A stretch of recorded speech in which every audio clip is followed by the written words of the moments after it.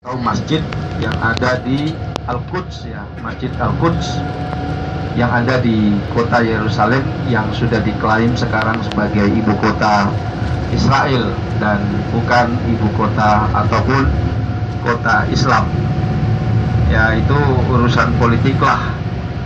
Kita yang tidak memiliki kekuatan jauh sampai di sana, mudah-mudahan kita terus doakan yang memperjuangkan kota Islam uh, bisa ya uh, mendapatkan kemudahan sehingga Masjid Kudus tidak di di apa dihancurkan ataupun apalagi uh, dihilangkan dari situs sejarah. Karena bagaimanapun Al-Quds atau Masjid Al-Aqsa itu adalah kiblat pertama kita ya kiblat tempat sholat pertama arah tempat sholat pertama Rasulullah Shallallahu Alaihi Wasallam. Jadi masjid kiblatain itu kisahnya begini Bapak Ibu itu ada di dalam Al-Quran Fawalli wajhaka perintah Allah Subhanahu Wa Taala Muhammad Fawalli maka hadapkanlah wajahmu syatral masjidil haram menghadap ke arah Ka'bah al-Mukarramah yang itulah disebut dengan Masjidil Haram saat itu Nabi sedang sholat asar. Sholat asar ya. Sekali lagi Nabi sedang dalam keadaan sholat. Bukan dalam keadaan tidak sholat. Sedang sholat Nabi disuruh beralih. Ya berputar 180 derajat dari mengarah ke Palestina atau Al-Quds Al-Aqsa. Disuruh balik diminta balik mengembalikan arah oleh Allah tentu melalui melalui malaikat Jibril ya. Di malaikat Jibril itu datang tidak hanya dalam keadaan biasa, tapi malaikat Jibril datang ke Rasulullah pun dalam keadaan sholat untuk menunjukkan bahwa wujud Rasulullah Shallallahu Alaihi Wasallam tidak saja dalam keadaan sholat dia diingatkan diberikan petunjuk diberi modal pengetahuan diberi kekuatan tidak hanya di luar sholat tapi juga di dalam sholat sekalipun. Kenal sebagai tempat perang handap. Di situ ada tokohnya juga. Nah, ini sebelah kiri kita ada anu ya apa namanya air mancur buatan. Eh bukan air mancur apa sih? Air terjun buatan. Oh Jadi, iya, terjun. Airnya diterjunkan ini.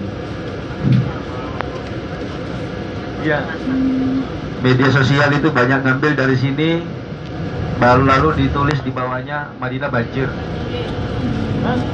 Jabal Uhud Jabal Uhud dibilang banjir padahal ngambilnya gambar ini sebelah kiri. Bapak Ibu bisa lihat? Ah itu biar ramai itu medsos ya media sosial. Kenapa Bu? Oh, iya ini diterjunkan ada aliran di atas selalu dibuat seperti ini. Ya, ini buatan, murni buatan Bu ya. Ya, airnya asli tapi anunya buatan.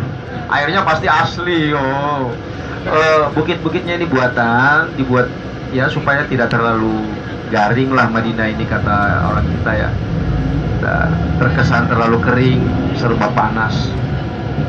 Lumayan ada air terjun lah penyejuk mata kalau kita lewat dalam keadaan gerah melihat air mudah-mudahan mungkin harapannya bisa lebih sejuk ya.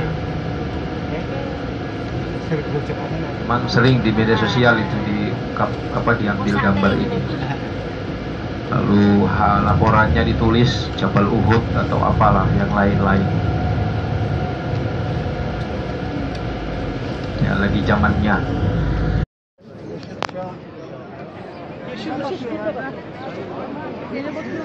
Hadi hadi hadi. Tamam yeşil ışık var.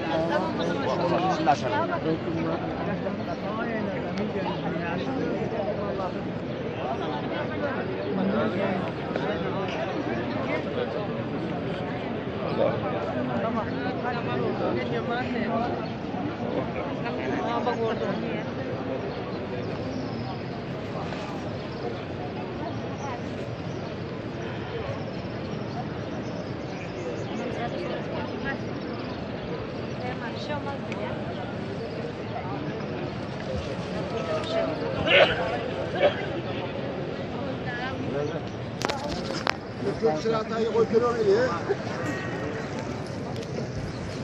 Gene birbirimiz Allahumma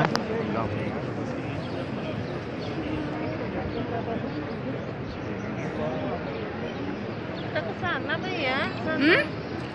Lewat sini bisa kok, Bu. Sini naik sini. Bisa, ha?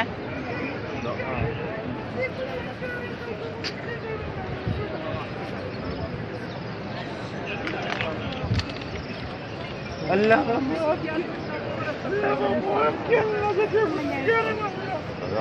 Ini ada temennya, Bu.